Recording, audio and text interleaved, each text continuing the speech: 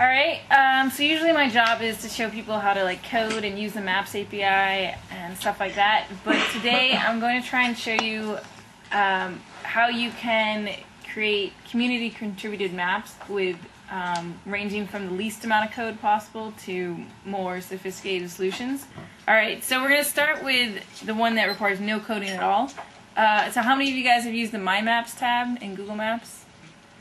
Okay, so there's two things you can do here. You can load other people's maps and load other people's maplets, and you can also create a new map. Um, so when you create a new map, that gives you like editing tools, right? So it lets you like draw markers, draw polygons, blah blah blah. And then the cool thing is, is that you can also collaborate on your map, right? So if you see here, we have this collaborate. Kind of hard to read, um, but if we click on collaborate, I can actually go and invite people as collaborators. Um, does anyone want to edit it with me right now?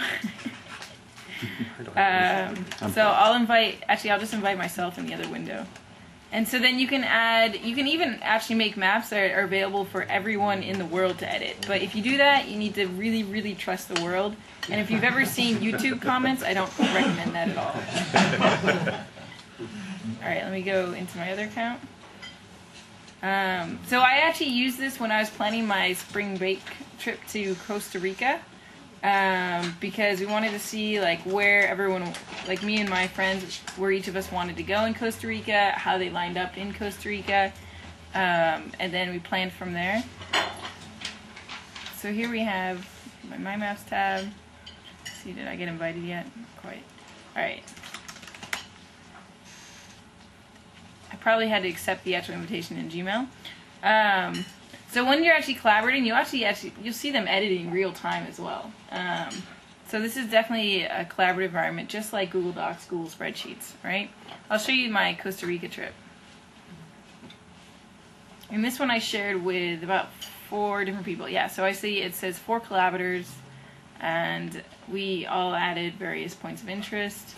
Um, that route actually on there shows the final route that we took. So you see we did pretty well at hitting up the various points that we wanted to. Now the cool thing is that um, once I've got a collaborative map here, I can actually just click on the link to this page and it'll give me an iframe that I can insert in a page. Um, so let's go to a page. Alright, so we'll try not to accidentally post on the Maps API blog. oh, that'd be so much better. test post test. post. All right. We'll just uh, use their little preview editor here. All right. So I'll paste it in there. And then should be presto. All right, cool.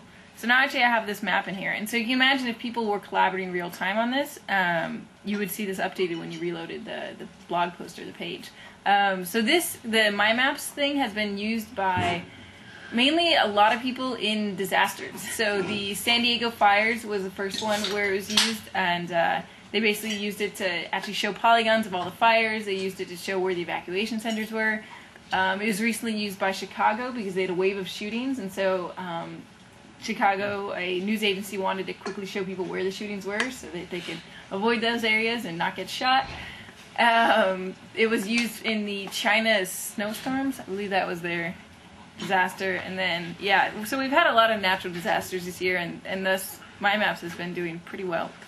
Um, so yeah, the other thing you can do is if you do feel like um, delving into the, the API slightly, there's a, a one-line function call that you can use to overlay um, one of these my maps on the map um, because they do output KML and we can do that in the Maps API. So here's an example, maybe maybe I want to aggregate a bunch of these maps, so like all the current natural disasters or whatnot.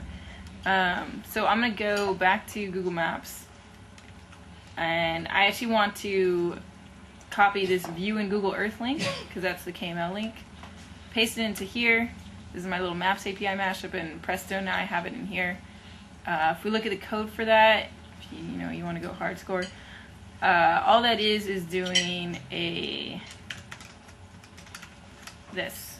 Um, so it's saying new GeoXML and adding that to the map. And there's some stuff for toggling on and off.